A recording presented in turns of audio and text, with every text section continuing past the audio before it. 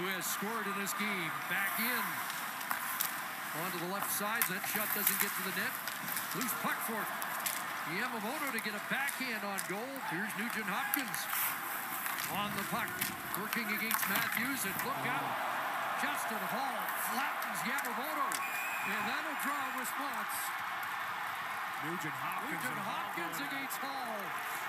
Two unlikely combatants. And Nugent Hopkins ends up on top. Yeah, he stung him with a pretty good right hand. Holl early on.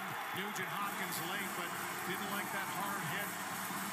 We saw Brodie kind of reverse hit Yamamoto earlier in this period. Holl catches him behind the net with a pretty hard pop. And you're right, a couple guys that don't typically drop the gloves, but intense hockey brings out this. And boom, there's the hit by Holl, the response by Nugent Hopkins. And they throw down for a quick fisticuffs.